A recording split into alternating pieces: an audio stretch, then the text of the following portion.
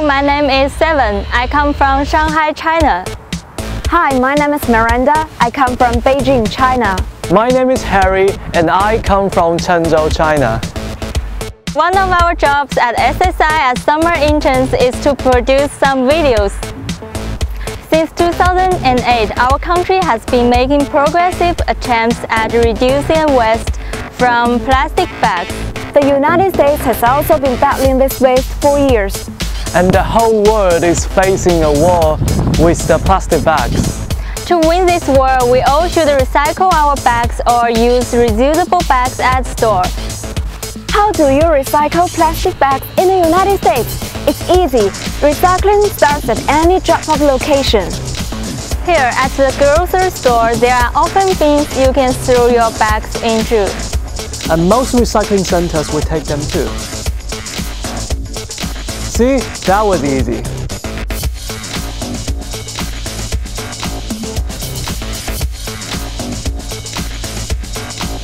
The bags are connected box then sent into either a distribution or recycle center.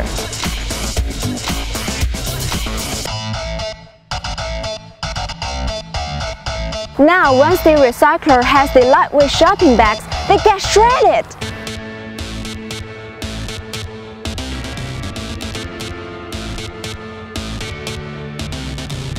This shredder is a single rotor SR300. We call it the Uni-Shear. Every Uni-Shear has a ram assist to help tear up and shred whatever you throw in by pushing material toward the rotor. What feature this machine has is the removable cutters, which can come out of the rotor for easy blade replacement.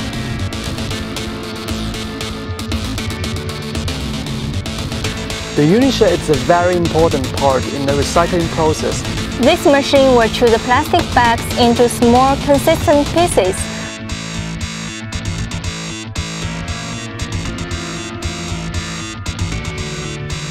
Shredding these bags makes it easier to process the plastics into pipes, pallets, jacking, launchers, and even plastic bags.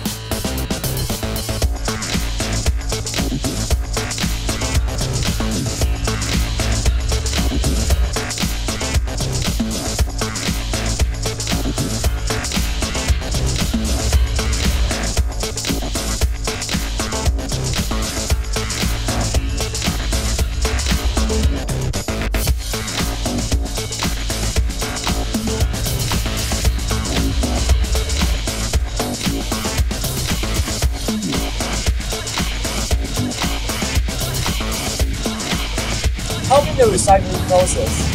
To conserve the resources. It's just another reason why we ask. What is shredding?